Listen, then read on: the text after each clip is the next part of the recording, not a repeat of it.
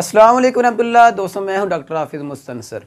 ख़वातीन का एक मसला है मोटापा ओबेसिटी अक्सर ख़वातीन क्या करती हैं कि अपने मोटापे का, अपने वज़न का जो है इलाज करवाती हैं।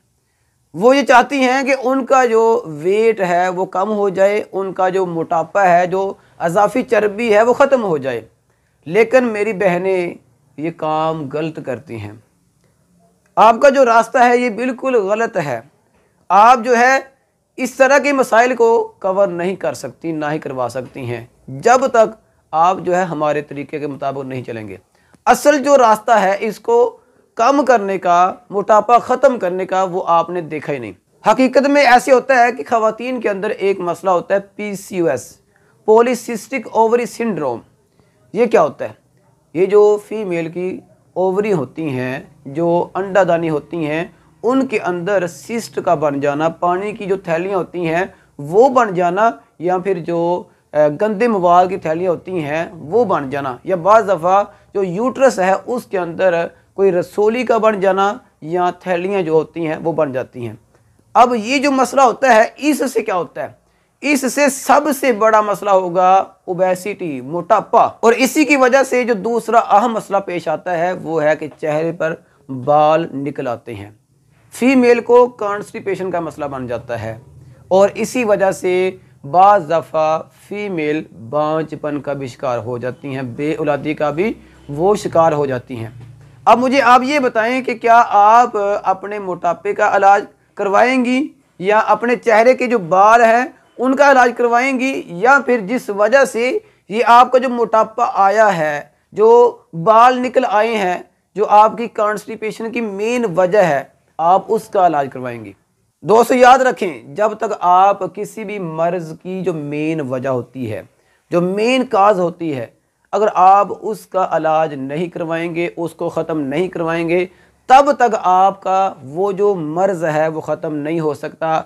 आप एक दफ़ा नहीं, हज़ार दफ़ा जो है मेडिसिन खाएँ, हज़ार नुस्खे इस्तेमाल करें, आपका वो जो मर्ज़ है, वो ख़त्म नहीं होगा। अब आते हैं मेन मसले के ऊपर। अगर कोई ऐसा पेशेंट है, कोई भी हमारी बहन, जिसको ये मसला हो ओबेसिटी का, मोटापे का, उसका जो वेट है, वो दिन ब दिन बढ़ता जा रहा है। उसे कॉन्स्टिपेशन का मसला बन चुका है। उसके जो हार्मोन हैं, वो भी ख़राब हो चुके हैं। उसके फेस पर जो है, बाल निकल आए हैं।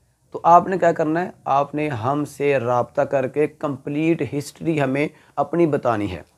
क्योंकि विदाउट केस टेकिंग आपके लिए कोई मेडिसिन की हम सिलेक्शन नहीं कर सकते। जब आप हमें अपनी कंप्लीट हिस्ट्री बताएँगे तो आफ्टर केस टेकिंग जो है, हम आपको आपकी सिम्टम के मुताबिक जो है, इलाज बताएँगे कि आपका जो इलाज है, वो कैसे मुमकिन है।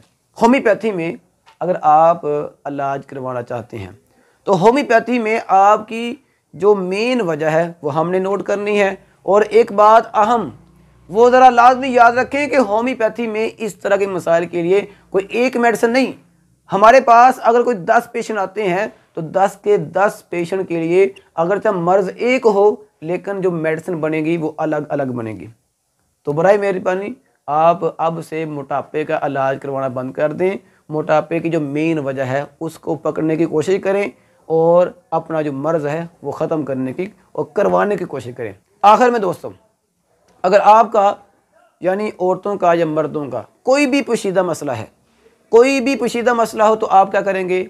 आप अपने घर में बैठे हमारे इस नंबर पर व्हाट्सएप पे मैसेज या कॉल करेंगे, उसके बाद जो है अपनी कंप्लीट जो हिस्ट्री है, विद रिपोर्ट वो हमें सेंड करेंगे, उसके बाद इन हम जो है आपके लिए जो मुफीद नुस्खा होगा आपके घर में भेज देंगे, ताकि आपका जो मेन मसला है वो हल हो जाए। मज़ीद दोस्तों, अगर आपको ये वीडियो अच्छी लगे तो इस वीडियो को लाजमी लाइक करें। हमारा अपना यूट्यूब का चैनल है, जिसका नाम है डॉक्टर हाफिज़ मुस्तन सर। उसे लाजमी दोस्तों, सब्सक्राइब करें। हमारा अपना पेज है फेसबुक पर, उसे भी आप जो है फॉलो करें। टिकटॉक पर हमारा अपना अकाउंट है, उसे भी आप जो है फॉलो कर सकते हैं। आप दोस्तों की मोहब्बत का बहुत शुक्रिया। अस्सलाम वालेकुम